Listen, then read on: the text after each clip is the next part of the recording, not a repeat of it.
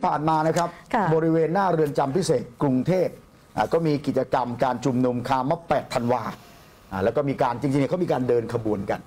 แล้วก็เป็นเหตุหนึ่งที่ที่ทำให้รถติดอะเมื่อวานเนี่ยคืออ่าก็จุกเดียวนะหย่อมเดียวไม่ใช่เหรอฮะคนผู้ชุมนุมเนี่ยไม่แล้วได้ก็เยไปอะไปเมื่อวานนี้ทั้งจอสอร้อยเรดิโอรายงานการจราจร91 นะก็ค่ะรายงานเดียวกันเลยว่ารถติดพันกันหมดเลยนะโอ้ยตั้งแต่ช่วงบ่ายสองบ่ายสามแล้วนะพี่หนุ่ม ทีนี้ไปทำกิจกรรมนี่ประกาศยุติการชุมนุมหน้าเรือนจำเนี่ยเวลาประมาณ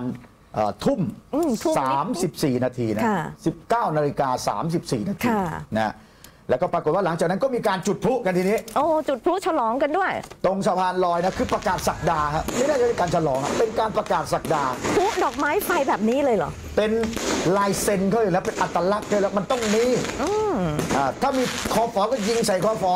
โอ้นะค่ะเนี่ยมีการจุดพลุกัน แล้วที่สำคัญเนี่ยนะ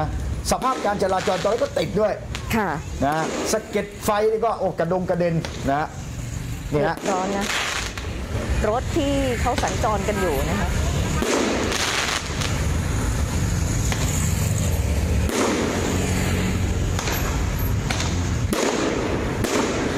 มีการรายงานสภาพการจราจรตั้งแต่ช่วงบ่ายสามโมงเป็นต้นไปสี่โมงเย็นมาแล้วนะคะ จอสอร้อยนี่รายงานกันทุกเส้นทางเลยตั้งแต่ถนนงามวงวาน บางเขนเกษตร แล้วก็เกี่ยวพันไปถึงถนนกำแพงเพชรวิภาวดีรังสิต อ่านี่แล้วก็ที่เห็นเมื่อคืนนี่นะฮะอย่างภาพสุดท้ายเมื่อเมื่อสักครู่เนี่ยคือเรื่องของการชุมนุมที่มีการใช้พลุไฟเนี่ยค่ะอ่าช่วงหลังเนี่ยเราก็ไม่ได้เห็นการปะทะกับคอฟอแล้วค่ะแต่ตอนนี้ก็เริ่มมีการกลับมาใช้อีก เพราะอะไรเพราะตอนนี้กำลังนับถอยหลัง เตรียมจะจัดชุมนุมอีกทีหนึ่งอ่า จัดชุมนุมใหญ่เคลื่อนไหวใหญ่เนี่ยก็คือวันที่ 12 วันอาทิตย์นี้ 12 เดือน 12 เพื่อเรียกร้องให้ยกเลิกมาตรา 112 วันนั้นแหละเดี๋ยวรอจับตาดูว่าจะมีใครเดินเข้ามาร่วมชุมนุมบ้าง เพราะอย่าลืมว่าสารรัฐธรรมนูญเนี่ยวินิจฉัยไปแล้ว ว่าการเรียกร้องที่อ้างว่าขอให้ปฏิรูปสถาบันเนี่ยค่ะจริงๆเนี่ยไม่ใช่เป็นการล้มล้างการปกครอง แล้วถ้าเกิดว่ายังฝ่าฝืนเนี่ยศาลสั่งให้หยุดแล้ว ยังทำต่อเนี่ยก็รอดูว่าผลทางกฎหมายนี่จะเป็นยังไงค่ะส่วนรุ้งปนัสยาตั้งแต่ได้รับการปล่อยตัวชั่วคราวออกมานะที่ศาลเมตตาว่าให้มาอ่านหนังสือให้มาสอบเตรียมนะสอบเตรียมสอบล่าสุดในข่าวในสำนักข่าวออนไลน์เนี่ยเขาก็ได้มีการตามว่า รุ้งตั้งแต่ออกมาเนี่ยไม่เคยเงียบเลย คือปั่นโซเชียลตลอดค่ะ นะเขาก็เลยถามว่าเตรียมสอบถึงไหนแล้วนะเขาเป็นห่วงกันไงเขาเลยถามคุณเนี่ยลุก็งเอาให้มาให้ดูเนี่ยก็คือสิ่งที่รุ้งปนัสยานี่แชร์ค่ะในโซเชียลของเธอนะแล้วก็แสดงความเห็นบางอันนี่หยาบด้วยนะค่ะด่าตำรวจอย่างเงี้ยนะฮะอ่าบางอันนี่ก็มีอารมณ์ด้วยติดตามม็อบอะพูดง่ายค่ะๆนะแล้วก็อีกโพสต์หนึ่งฮะศาลท่านให้เมตตาให้ประกันมาสอบ แต่ยังไปปลอบม็อบ นะไหนบอกว่ามีความฝันต้องการเรียนอ่าคือที่ทวิตด้านบนน่ะที่รุ้งค่ะปนัสยาด่าตำรวจว่า พวกมึงนี่มันเอี้ยเหลือเกินโอ้โหนะเหลือเชื่อนะแล้วก็ด้านล่างนะรุ้งปนัสยาก็ตอบโต้ค่ะพวกสลิมที่มาแซะว่าทำไมไม่ไปอ่านหนังสือสอบ ไหนอ้างศาลว่าจะมาสอบอะนะดิฉันขอถามหน่อยว่า แล้วมันจะทำไมโอ้ค่ะสอบแล้วมันเล่นโทรศัพท์ไม่ได้หรือไง แล้วมันจะมาตามข่าวบ้านข่าวเมืองไม่ได้หรือไง สมองสมองอะคิดหน่อย ไม่งั้นก็ห้ามนักศึกษาทั้งประเทศที่สอบอยู่ ไม่ให้ใช้โซเชียลด้วยสิเฮ้อลำไยเนี่ยนี่ตอบโต้ตอบโต้ทันดูทีเด็ดเผ็ดมันค่ะอะคล้ายๆพระมหาภัยวันนะสามารถไหลรวมกันได้ Round Table Thailand ค่ะล่าสุดอัปเดตนะฮะค่ะรุ้งปนัสยาก็ไปขึ้นศาลอายุทยาคดีม 116 นะ ก็ได้เจอกับไม้และเพนกวิน อ๋อไปเจอเพื่อน แล้วก็บอกว่ามีสุขภาพร่างกายแข็งแรงดีนะฮะค่ะ แล้วก็ตัดเพราะว่าตัวเองตอนนี้ก็ไปแค่มหาลัยแล้วก็ศาลนะอ่าค่ะแต่ว่าสิ่งหนึ่งที่เธอเคลื่อนไหวอยู่ไม่หยุดก็คือในโลกโซเชียลค่ะนะอันนี้คือเรื่องของม็อบนะฮะค่ะ ในขณะเดียวกันล่าสุดวันนี้เพจโรงเรียนจิตอาสาพระราชทาน ได้มีการนำเสนอคลิปคลิปนี้ ค่ะ เป็นคลิปที่ดูตอนเช้าแล้วเนี่ยอบอุ่นหัวใจมากนะครับ ประมวลภาพบรรยากาศการรับเสด็จเมื่อวันที่ 5 ธันวาคม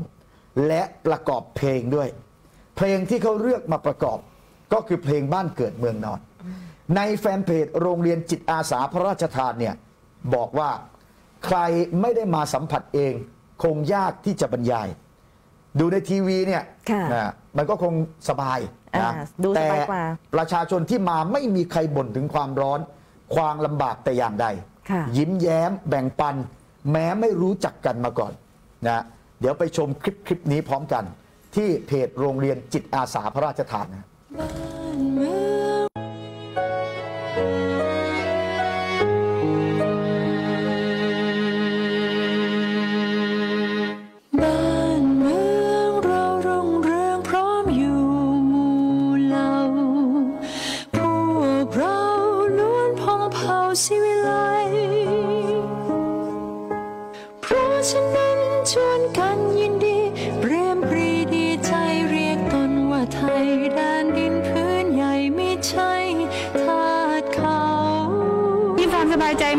ราะว่าการคัดกรองเนี่ยละเอียดแล้วก็ถี่ถ้วน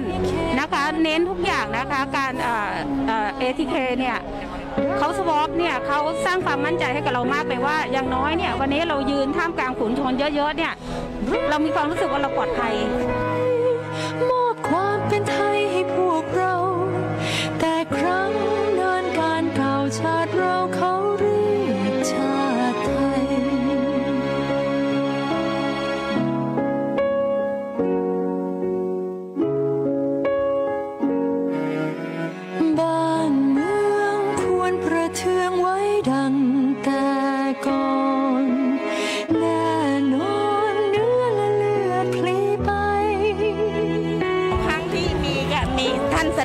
จแล้วจะมา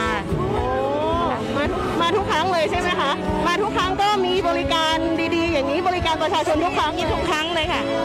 ของท่านน่ะทำดีค่ะประทับใจ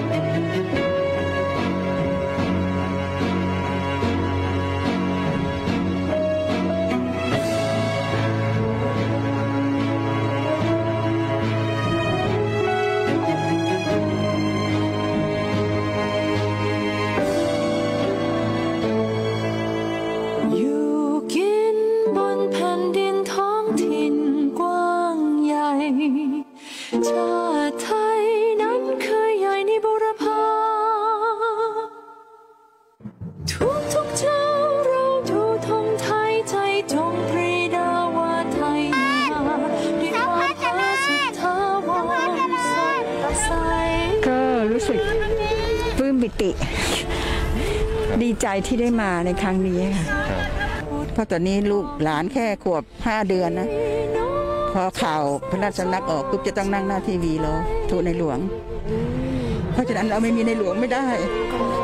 ถ้าถ้าไม่มีในหลวงเราไม่ขอมีชีวิตอยู่ขอสถาบันจงอยู่ตลอดไปค่ะ รักมากตั้งแต่เกิดมาเลยค่ะ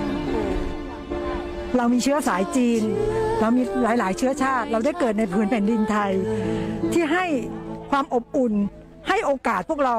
ลูกหลานของเราได้เจริญรุ่งเรืองในประเทศ โดยไม่มีการแบ่งชั้นวรรณะ และที่สำคัญสนามม้าแห่งนี้ได้มาเป็นปอดอันยิ่งใหญ่สำหรับปวงชนชาวไทย ลูกหลานของเราในอนาคต